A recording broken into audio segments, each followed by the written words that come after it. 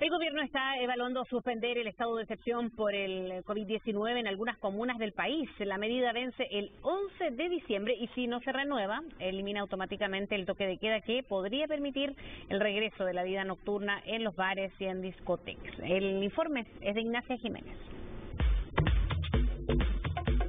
De nuestro negocio se trasladó de la pista de baile a la mesa. La música ya no suena en la pista de baile y estas mesas salen al patio a las 6 de la tarde para hacer de Club Amanda un bar-restaurante, muy lejos de lo que era hace nueve meses. Quieren que se elimine el toque de queda y sobre todo cambie el aforo para volver a encender la noche. ¿Quién va a ir a comer a un restaurante a las 2 de la mañana? Mientras no pasemos a la fase 5, que la fase 5 también tiene, tiene una letra chica, porque la fase 5, en teoría, uno las, los, las discotecas van a poder abrir con un aforo del 50%. Pero la letra chica dice que con un máximo de 100 personas. Al menos uno de sus deseos podría cumplirse porque el gobierno estudia modificar el estado de excepción que rige hasta el 11 de diciembre y mantiene a todo el país con toque de queda desde marzo.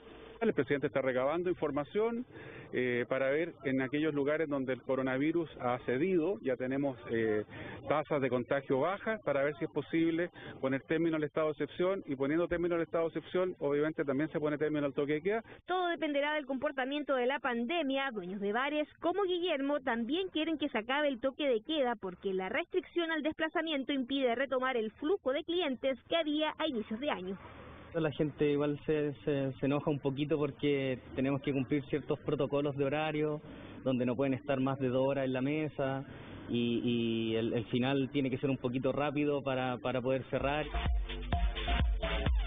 El cambio del toque de queda podría permitir que la fiesta vuelva, las luces se enciendan y se extiendan los horarios de atención en los bares, pero desde el punto de vista médico dicen tiene que hacerse con extrema precaución. Los bares y pubs, gimnasios, recintos cerrados son lugares de muy alto riesgo y entendemos que también la presión para este levantamiento de los toques de queda van orientados también a la reactivación. El toque de queda para efectos eh, de, clínicos no tiene ningún impacto mientras las personas se mantengan adhiriendo a las medidas y no haya una apertura masiva de actividades que habitualmente se realizan durante la noche.